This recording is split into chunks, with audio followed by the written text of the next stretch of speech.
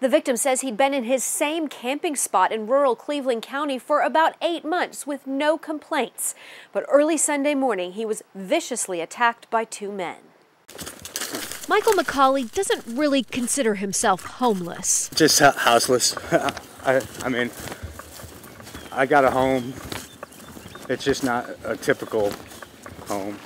But the place he called home is now destroyed after two men slashed his tent and tarps with knives and attacked him with metal and, uh, pipes. They shredded my tent.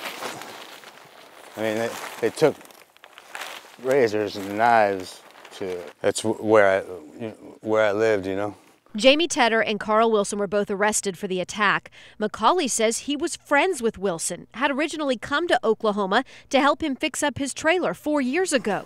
He says the attack was completely unprovoked.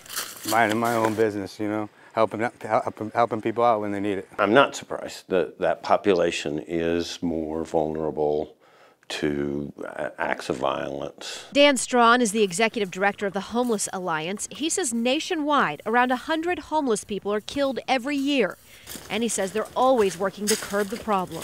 The best way to curb that problem is to get people into housing, right? So, uh, where they are sheltered and they have some protection. Oh, they were trying to hurt me. Luckily, McCauley was able to get away with only a few scrapes and bruises. Take what you can salvage and